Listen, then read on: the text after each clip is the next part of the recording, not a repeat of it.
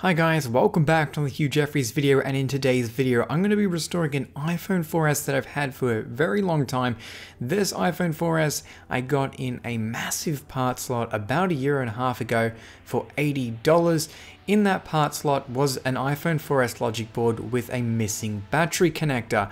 Now in a previous video I attempted to fix this iPhone 4S by soldering on a new battery connector. If you have seen that video you'll know that the repair was unsuccessful and I wasn't able to get the battery connector soldered on properly and you can see my horrendous job of uh, the first attempt at putting a new battery connector on this 4S. It's wobbly, the solder joints are really bad, so in today's video I'm going to be fixing that.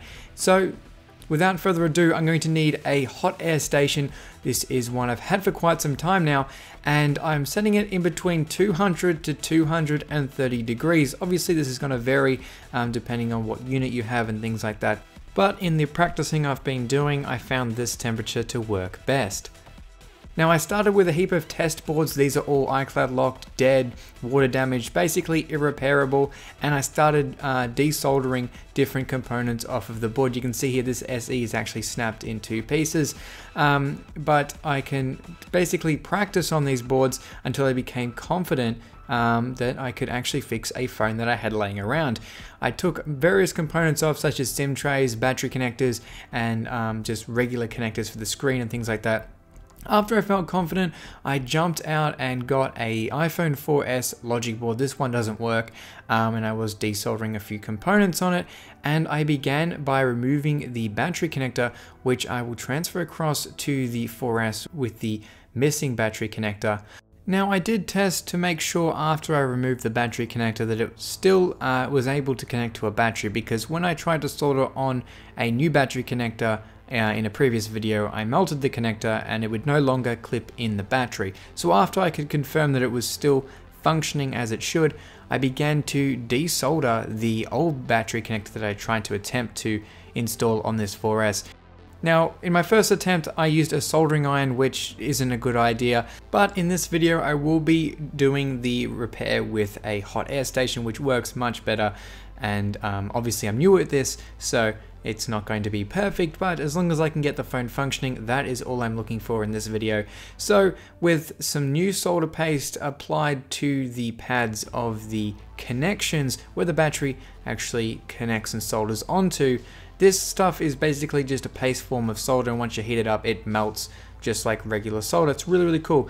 Then I could get the new battery connector that I salvaged off another iPhone 4S and hold it in place with some tweezers and heating up that solder with that hot air rework station, we can solder in the new battery connector. Looking at the connection, I can see that I probably added a bit too much solder, but as long as it works, I'm not too concerned in that regard. So connecting up a test screen and dock connector, I can then prep the iPhone for its first boot, hopefully with a working battery. So I'll need to obviously connect a battery to the phone and plugging in the charger, we see the battery flat symbol and that means the battery is obviously detected and after a bit of a charge, the iPhone powered up if I go into settings, you'll notice that it does have an iCloud account, although everything seems to be turned off, which indicates that the previous owner didn't even know the iCloud password anyway, which is never a good sign.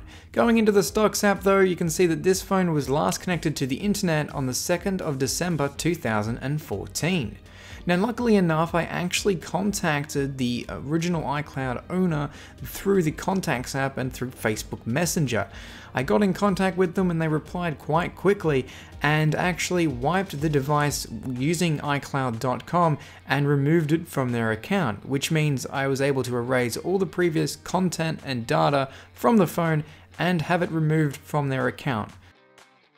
So with the erase completed, you can see that this is a 16GB model on iOS 7.1.1. So now that we know the logic board of the phone works, I gave the battery connector that I just soldered on a quick clean with some cleaning alcohol to remove any flux or solder residue left on the board.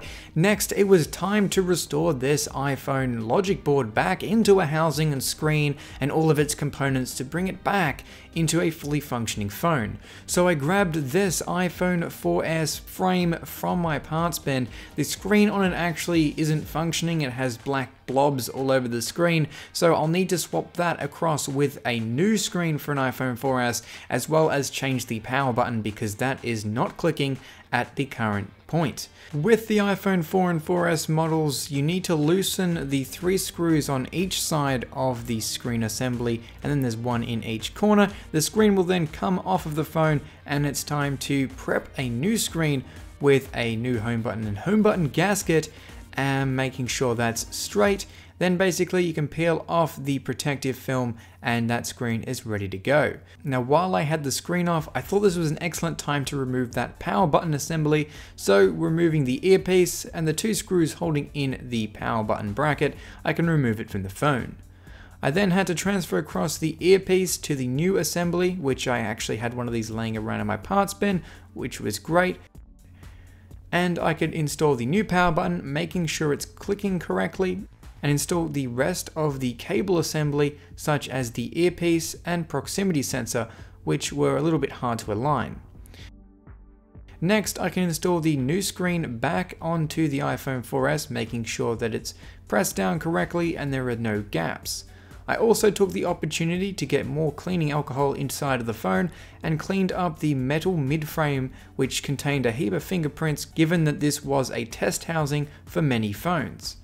Next, I could reinstall the screws for the screen, which will complete the screen installation for this iPhone 4S frame.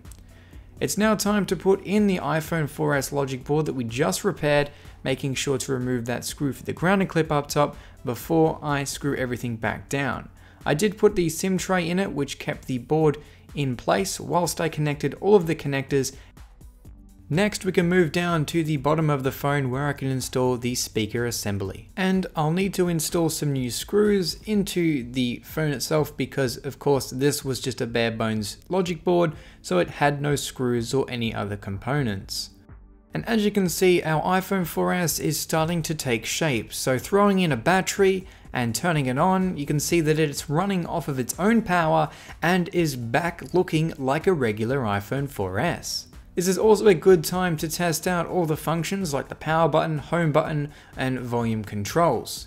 With those all tested and successfully working, I can install the final few pieces which will complete this iPhone 4S making sure to give the inside of a phone a quick wipe down before I seal everything up. Installing a new back glass panel and installing two pentalobe screws, this iPhone 4S is looking like a phone once again. I can install a tempered glass screen protector on the front, and we're done. So this is it, an iPhone 4S that I brought back from the dead given its broken battery connector. With a small board level repair and some parts I had laying around, I was able to revive this disregarded iPhone. Even given the age of the iPhone 4S, it cost me nothing to repair it and was great practice to gain skill in board level repairs. And it's also great to know that I saved this iPhone from landfill. I also hope to further increase my micro soldering skills so I can bring you guys more board level repair videos in the future.